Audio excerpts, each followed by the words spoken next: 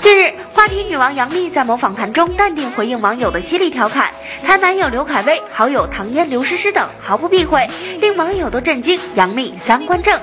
谈及有网友说其男友是天涯四软之一时，杨幂说这个称呼我第一次听到。我知道天涯有四美，并直言挺爱刘恺威，更撒娇称我们俩挺配的。说起圈中闺蜜，杨幂坦言，我觉得唐嫣肯定算一个。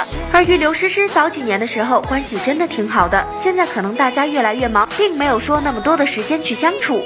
对于自己的负面新闻不断，各种躺枪，杨幂也表示现在已经很习惯被黑了，并语出惊人：黑不动了，自然成了真爱。优酷娱乐播报整理报道。